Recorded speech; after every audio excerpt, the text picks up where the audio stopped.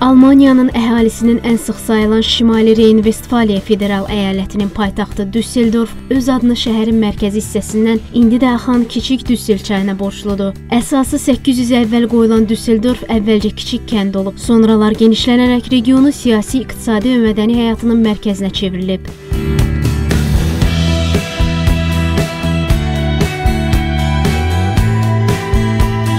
Turistləri bura orta əsrlər memarlığı ilə ultramüasir arxitekturanın vəhdəti, özündə alman bolluğu ilə fransız ləzzizliyini birləşdirən dadlı, ləzzətli mətbəx, sərhəd tanımayan incəsənət və əyləncəli shoppinq cəlb edir.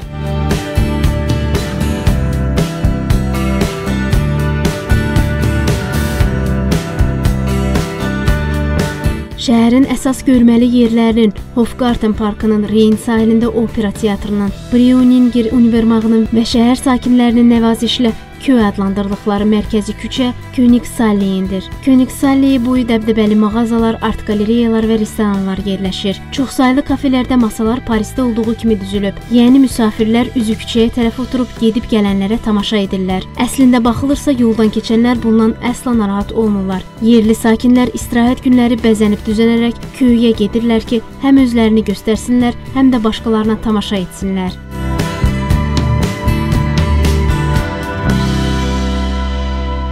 Königsalleyədə gəzişərkən su kanalı üzərindən salınmış körpüyə rast gəldik. Körpüdə əllərində telefon və planşet tutmuş bir dəstə gənc nə isə çox qızğın müzakirə edirdi. Pokemon ovçuları son illərin yerli fenomenidir. Pokemon Go mobil oyununa qlobal maraq Düsseldorfa da gəlib çatıb və yerli ictimaiyyəti əməlli başlı yerindən oynadıb. Bu populyar əlavənin müəllifləri Pokemonları nədən tarixi Jurardo körpüsü rayonunda yerləşdiriblər, bunu heç kəs bilmir. Amma bu fakt küçə hərəkətində müəyyən narahatlıq yaradıb. Amma heç kəs oyunbazları qovmağa hazırlaşmır. Əksinə tanıcı nişanlar qoyulub. Burada Düsseldorflulara xas olan özün yaşa və başqasının da yaşamasına imkan ver mentaliteti parlaq təzahür edib. Dünya şöhrətli Düsseldorflu 19-cu əsrin şair və publisisti Henri Heine'nin yaşadığı ev də köhnə şəhərdədir. Köhnə şəhərin daha bir diqqətə layiq yeri onun cənub hissəsində, Karlstadt meydanında yerləşən bazarıdır. Bu bazar Düsseldorfun ən yaxşı bazarı sayılır. Burada münasib qiymətə dadlı nahar etmək Alman, Hind, Portuqal və ya İtalyan milli mətbəxlərinin yeməklərini dadmaq olar. Düsseldorfda bədii qalereyalar, moda evləri və restoranlar yerləşir.